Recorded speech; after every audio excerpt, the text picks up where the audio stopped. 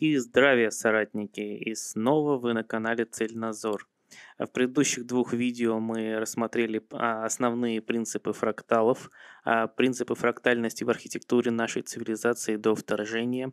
Мы выяснили, что есть общее во всех архитектурных так называемых церквях. И вот, вот что общее было, это фрактальность. А, фрактальность построения куполов прежде всего, но назовем это куполами, эти замечательные излучатели, рупорные фрактальные антенны. А по всему миру у них один принцип, несмотря на разницу материалов, разницу э, исполнений, принцип один и тот же.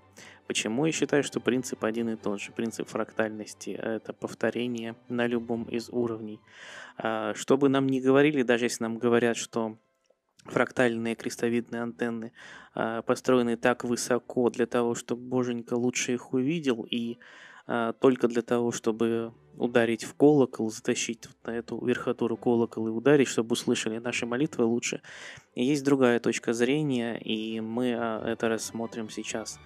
Я уже показал на канале некоторые выводы, некоторые решения, и мы продолжаем искать истину на канале Цельнозор.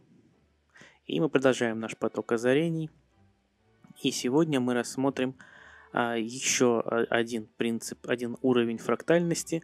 Помимо того, что а, фрактальность существует и в построении городов, и в кристалле Земли, где на, все основные города находятся в узлах кристаллической решетки, где основные месторождения идут по граням кристалла – а, вся Земля, соответственно, это один мегакристалл, где все потоки энергии текут по а, в соответствии с этими гранями а, кристаллическими.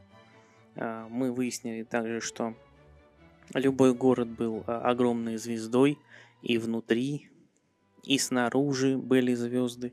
Мы быстренько пробежались по Мальте, просмотрели основные кристаллические и фрактальные структуры. И сейчас мы пойдем дальше. А, мы рассмотрим помимо Rose Windows, помимо внешнего декора храмов, а, фрактальность внутри храма. Помимо того, что мы выяснили закономерность фрактальных Rose Windows, розетки так называемые. Почему мы сейчас называем розетка? Потому что, может быть, излучает до сих пор Раньше это было излучением, и сейчас это также то, что дает энергию, мы называем розеткой. Мы выяснили фрактальные закономерности в построении Rose Windows, что это не просто для красоты, не просто для помолиться, некоторые математические закономерности, а, и мы остановились вот на этом храме. И я обещал, что мы рассмотрим некоторые фрактальные особенности этого храма. Мы уже рассмотрели колонны, строение колонн. Мы рассмотрели э, внешнее строение на других видео в канале, например, э, видео про магнитрон. И мы, следуя принципу фрактальности, наши предки, очевидно, как и мы сейчас, придем к логичному выводу, что и внутри должны быть принципы фрактала. Не только на макроуровне, но и на микроуровне внутри, внутри храма. Почему я думаю, что там должна быть фрактальность? Ну, давайте заглянем внутрь. А, фрактальность, она и снаружи, вот этот вот рупор большой, и снаружи вот эти ячейки, смотрите, на крыше. Они тоже расположены определенным а, образом. Но и внутри.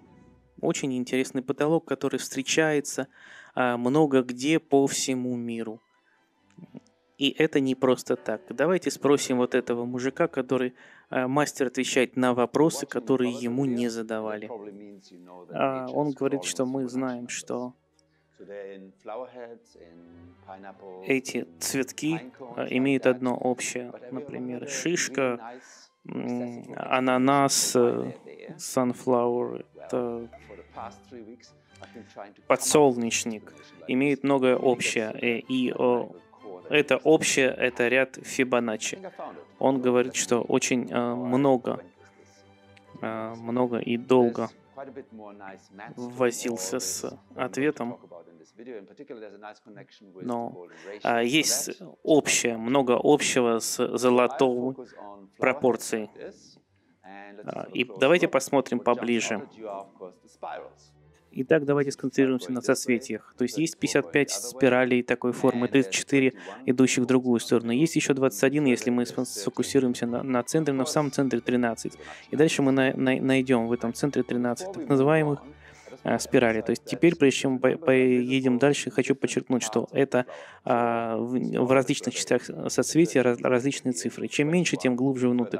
Так, 13 видно Э, в самом начале, затем больше и больше. Это так называемые последовательные числа, а, которые мы видим на цветке. Они хоть и занимают разные области, всегда будут перекрывать друг друга. Вот следующая э, цифра 21, 34. Хорошо, подобное растение дальше растет, но в то же время делает последовательность а, Фибоначчи своими этими цифрами. Таким образом, э, семена растут 1 плюс 1, 2, 1 плюс 2, 3, 2 плюс 3, 5, 3 плюс 5, 8 и так далее. А все растения, которые появляются Э, дальше растут по этой спирали, имеют нечто общее. То есть они идут изначально, а цветки, а, семена, и все дальше и дальше бутонов выталкивается наружу. А, также от себя добавлю идет и энергия. И это э, дает такую красивую однородную цветочную головку, цветочек э, в, нашем случае. Посмотрим на процесс в деталях. Итак, появляется первый, который просто сидит и ожидает. Затем появляется второй, он проталкивает первый немножко в сторону. Есть небольшая асимметрия. Потом идет вверх, ну и появляется третий и так далее. А следующий бутон появляется, и появляется уже разрыв. Но а, и природа не терпит пустоты, и, как вы можете видеть, семена и бутоны растут по мере того, как Э, появляются новые, и они создают изящную, сочную, устойчивую закономерность, которая приводит к тому, что появляется вот этот вот ряд. Каждый семя или бутон играет одинаковую роль внутри соцветия. А, и вот некоторая последовательность, которая появляется по мере появления бутонов. Когда цветок растет, все бутоны выталкиваются по радиусу одновременно, так что они как бы двигаются от центра к краю, практически по прямым линиям. Но если мы сосредоточимся на одной части головки цветка, и будем делать снимки, допустим, а, чтобы мониторить, вы всегда будете видеть примерно одно и то же, даже если повернуть а, в какую бы либо сторону. Но если посмотреть еще ближе, то можно увидеть некоторые закономерность, что все бутоны очень тесно а, расположены, скучно, с максимальной плотностью. Итак, бутоны внутряются в самую середину, а все остальное место занимается так плотно, насколько возможно. И если бы это была абсолютно оптимальная укладка, самая плотная укладка была бы вот так, предметом круглой формы. И выглядела бы эта закономерность вот, вот так, рядами. Но в реальности картина иная, потому что у нас есть а, окружность, и получаются такие слои. Они перемежаются между собой вот таким образом. А, также получается, что эти круги выстраиваются определенным образом. А, то есть одно построение в одну сторону, другое в другую. Есть некие спирали, либо а, кривые. Давайте посмотрим а, на этот вид укладки растений. Мы всегда можем а, найти некий шаблон. А, если мы пристально посмотрим, а, где наши два семейства, скажем так, спирали, два вида спиралей. Вот первый из них в одну сторону, они на равном расстоянии друг от друга а, и оборачиваются, как бы э, крутятся вокруг центра соцветия. А есть второе, и они накладываются друг на друга очень естественно. Просто от этой маленькой стабильной закономерности, от того факта, что все упаковано настолько плотно, насколько возможно. И отсюда получаются эти два семейства, два вида спиралей. А теперь, если мы сосредоточимся на этой части цветка, то можем на самом деле увидеть а, другое семейство спиралей, вот такое. И оно не так явно выражено, как эти два других, но оно есть. И бросается в глаза куда больше, если продлить их дальше, экстраполировать на внешнюю часть. И посмотрим внимательно. Первые два э, вида спиралей образуют вот такие алмазные ячейки, как бы алмазные. Спирали третьего типа, они образуют диагонали, рассекающие эти алмазы а, поперек. То есть то, что я называю диагональное сечение. Хорошо? Итак, эти спирали связаны между собой, на самом деле воплощает а, то математическое ядро, благодаря которому эта укладка а, в соцветиях является оптимальной и соответствует числу Фибоначчи. Что же это за математическое ядро, математическая формула? И э, это семейство спиралей, закрученных таким образом равномерно распределенных, и еще одно семейство, если посмотрите на, на диагональ то оно э, соответствует тому количеству зеленых спиралей плюс количество красных спиралей в точности э, равное синим. То есть можно заметить связь. Вот два числа, которые в сумме дают третье. а, аналогично правилу превращения последовательности Фибоначчи. То есть мы можем доказать этот факт в конце видео, и это, собственно, доказательство, и мы горды этим. Но пока давайте продолжим без доказательства. Итак, мы видим одно число, соответствующее э, зеленым, и другое, соответствующее красным диагоналям. Пока мы не видим явно синих спиралей. Но в качестве следующего числа в последовательности визуально, что же это будет? Давайте посмотрим. Давайте выделим зеленую спираль и одну из красных спиралей. А, и произвольно нарисуем синюю. Вот что мы видим? Мы видим сосредоточенное внимание на этом участке для начала. Спирали соответствуют кратчайшим а, соседним соединением, то есть мы сами по сути их воображаем. Но для этого мы ищем соседние бутоны и затем продлеваем эти соединения, которые вы видите здесь. В данный момент соседние бутоны обозначены зеленым а, и красным цветом. Что же происходит? Теперь все выталкивается еще дальше. Экстраполируем, смотрим. Итак, видно, что у нас по-прежнему остается тоже расположение бутонов, э, семян, но оно как бы распространяется вдоль все больших больших колец. И теперь мы можем э, видеть, что соотношение длин меняются. На самом деле вот это зеленое соединение стало а, короче. Теперь, если мы уберем подсветку и закроем глаза, то уже вряд ли мы можем видеть зеленую спираль. Но зато сейчас мы можем видеть а, красные и синие спирали. Они четко видны. Вот как это происходит. А также мы можем видеть следующий тип спирали, появляющийся в середине между синей и красной. А, назовем желтый. Он будет становиться доминирующим дальше по мере дальнейшего вытеснения бутонов. Итак, мы уже успели посмотреть на четыре разных вида спиралей. И здесь мы начали с этими двумя. Мы знаем, что цифры здесь в сумме дают третье число. А, сначала видны эти два, затем становится видимым а, синее, и это красное. И синее дает желтое. То есть есть э, последовательность типа Фибоначчи, которая начинается с самого простого, с зеленого. И начиная с двух чисел семян, здесь мы получаем последовательность типа Фибоначчи.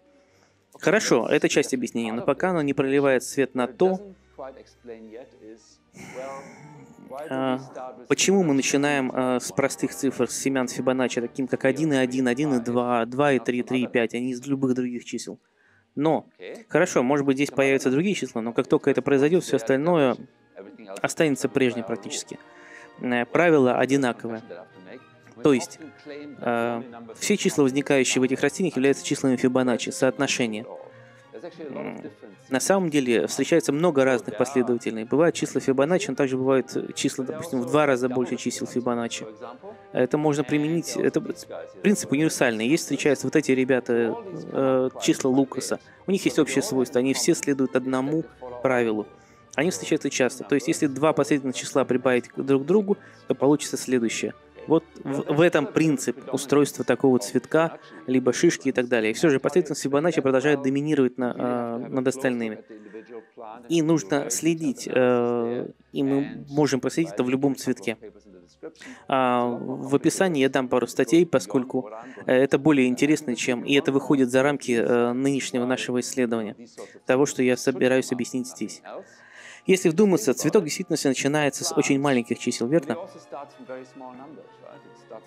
Он начинается 1, 1, 2, 3 и так далее. И поскольку эта закономерность, о которой я говорил, возникает очень быстро, и она очень видна, очевидна. То есть можно быстро увидеть вот такое кольцо, в котором эти два семейства становятся очевидными. Мы увидим небольшое количество спиралей в этих семействах, но это будет 2 и 3, допустим, 3 и 5 и так далее. А, короче, одна из таких пар, и с нее все начинается. Ну, это очень правдоподобно, реалистично и так далее.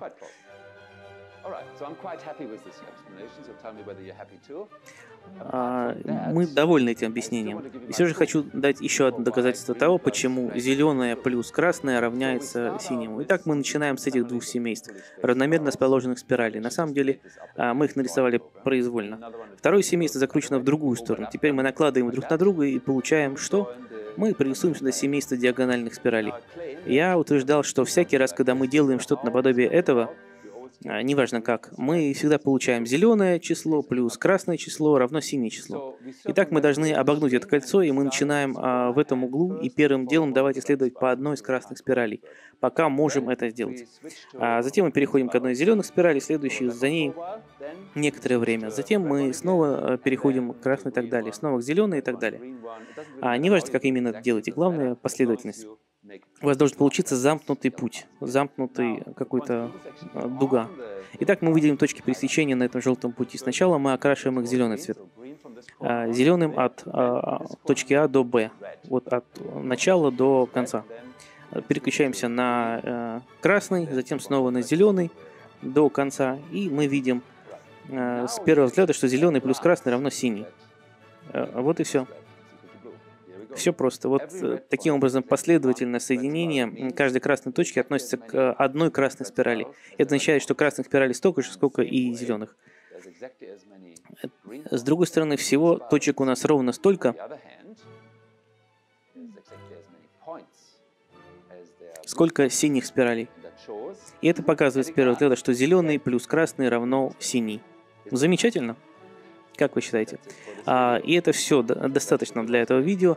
В конце концов, мы э, можем рассмотреть это дальше э, с другими доказательствами.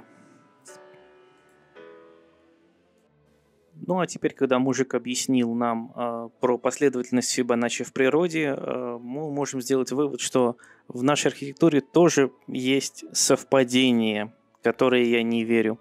Например, вот эта шишечка, она фрактальна, она с последовательностью Фибоначчи. Вот эти в Камбодже статуи излучателей тоже с такой же последовательностью Фибоначчи. Э, у Гребенникова полостные структуры – Э, они так же, как вот эта шишечка, тоже являются последовательностью Фибоначчи и следуют формулам фрактала, как и все Rose Windows. Они тоже имеют в своей архитектуре, в дизайне принципы Фибоначчи, золотого сечения и фрактала. Фрактала, кристалла и так далее. Называть можно как угодно. Принцип един. Все связано со всем. И все сделаны для излучения, приема э, энергий, создания стоячих волн и так далее. И это мы видим везде, единый принцип везде, во всей архитектуре.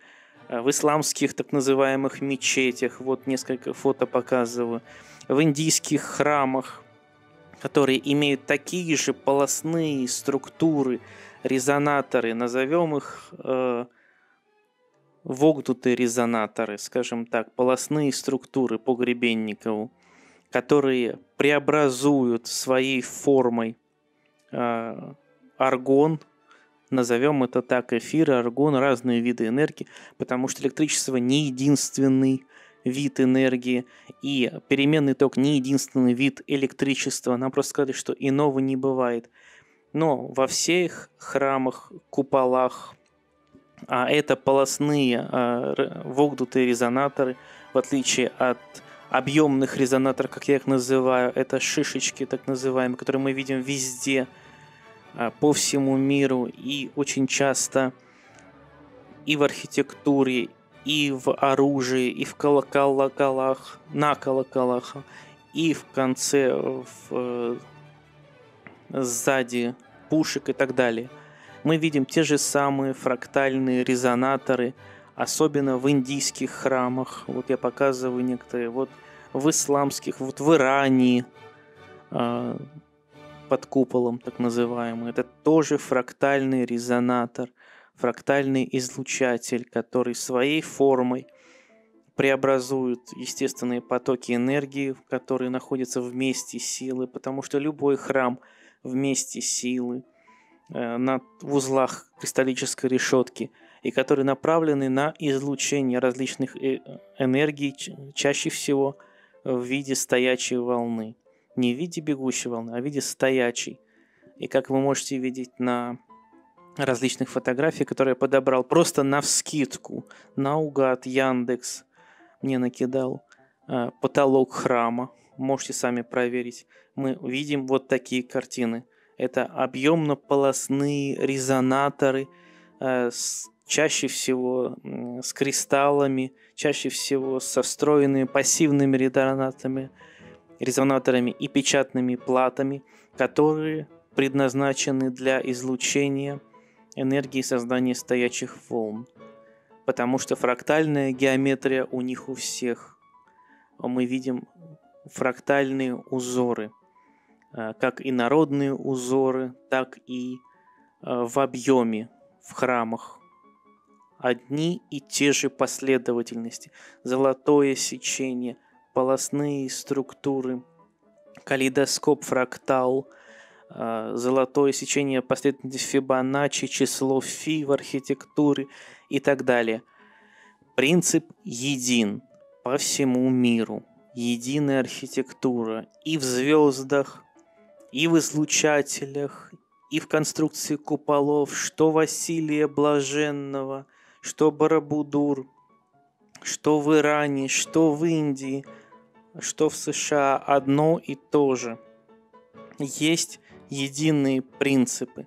Они могут выглядеть по-разному, но функция одна, принципы действия едины.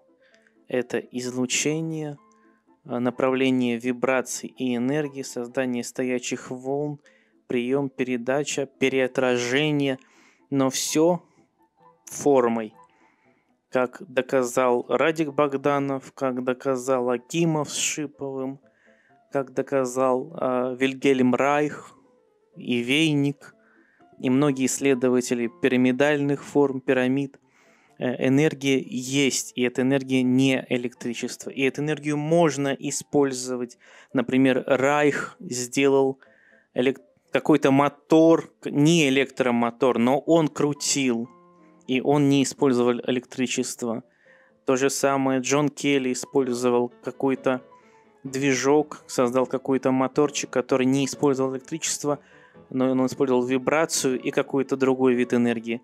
И здесь мы видим большие рупоры, рупорные антенны, которые в своей архитектуре, э, в дизайне, в строении используют резонаторы. Вот, например, не только на поверхности, но и под поверхностью. Угадайте станцию метро, на которой это снял. Это переход. А, здесь резонаторы, пассивные резонаторы, а может быть и активные, неважно, расположены в такой же последовательности. Повторяю, это Москва, снято мною лично. По метро будет вообще цикл серий, которые я снимал с весны, э, еще до статьи Техденсера, но такие не снял. Тормоз, понимаю, но скоро сделаю. И мы видим такие излучатели в такой последовательности, природоподобной последовательности золотого сечения по всему миру. И я думаю, шишковидная железа тоже не случайно такой формы. Это тот орган, который отвечает за экстрасенсорные способности восприятия всего мира и всех энергий. Скажем так, ответственный за интуицию. Как и нервная система, тоже фрактально, э, древовидный фрактал. Я думаю, что совпадений не бывает. Итак, давайте кратко подведем итог. Вся Вселенная на некотором уровне является фракталом. Она фрактально, голографична и имеет структуру кристалла. Как говорил Тесла, хочешь познать Вселенную, мысли категориями частот, энергии и вибраций. То есть все вибрирует, а, все вращается, я от себя добавлю. Частоты и вибрации подчиняются определенным законам математики и могут быть измерены и рассчитаны. А, природоподобные, ладные способы получения энергии и передачи энергии и жизни в гармонии с природой подразумевают следование этим природным законам и управление энергией, в том числе, в первую очередь, эффектом форм, то есть архитектуры зданий. Все в нашей допотопной цивилизации было фрактально, исследовало этому ладному принципу и было природоподобно, как вы можете видеть. Я подобрал более сотни фото для этого слайд-шоу, долго старался. Но смотрите, это неописуемая красота. Далее, пятый пункт. С этой целью вся архитектура и техника следовали э, естественным вибрациям и были основаны на естественных вибрациях.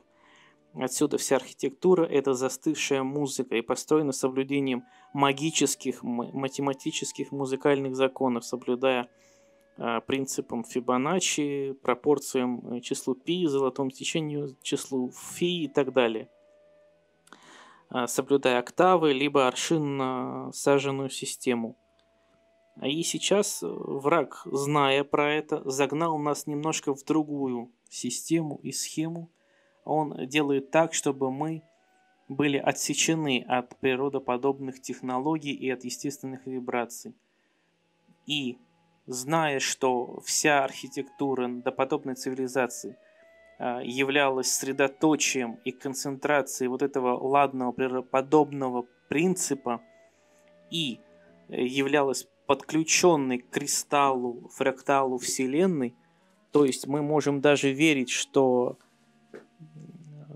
колокола и купола существуют только для того, чтобы Боженька лучше э, видел и слышал наши молитвы, но просто пребывание в них на местах силы и в гармонии со Вселенной мы, нас исцеляет, то есть делает целостными со Вселенной, восстанавливает цельнозор, как я это называю. И враг это знает. Именно для этого, чтобы нас ослабить и обессилить, он наше оружие, наши э, храмы уничтожает, сжигает, э, просто сносит различными способами, чтобы нас ослабить. Он знает, что время истекает, мы просыпаемся, поэтому он хочет нас сделать э, обессиленными, чтобы мы остались без оружия.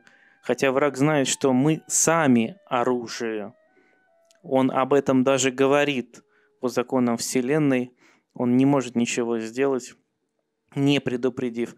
Поэтому он направляет наше сознание по другому пути, чтобы мы не воспринимали это как что-то серьезное. Он вроде бы говорит правду, но под видом лжи, вранья, называя это фантастикой.